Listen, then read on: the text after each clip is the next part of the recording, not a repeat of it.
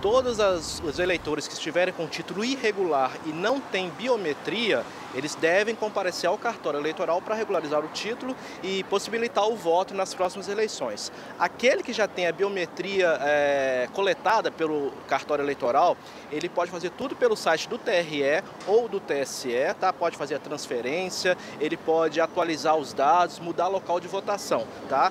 É, lembrando que o último dia é hoje.